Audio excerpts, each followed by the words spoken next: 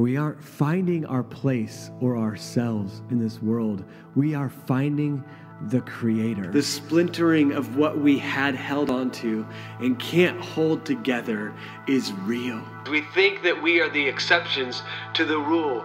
We are prone to wander. Stone emerges. The inconsistent, blurred lines start to line up. They start to harden and strengthen. In these spaces, be honest about your faith, be honest about your doubts, be real with people. He doesn't use what was to create creation, he uses words.